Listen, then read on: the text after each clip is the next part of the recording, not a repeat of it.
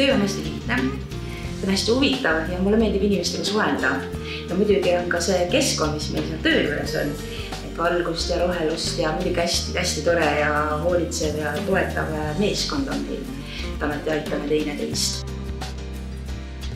mul on julgemaks muutunud, et vanasti ma võib-olla nii lihtsalt inimestega ei, ei suhelnud võib-olla niimoodi just võõrastega. et nüüd ma olen nagu leidnud, et see on kuidagi päris lihtne kui ma läksin näiteks töövestlusele, et sihuke tunne nagu üks koju astuda, et ma kohe tundsin, et hea aura oli, et see on nagu koht minu jaoks.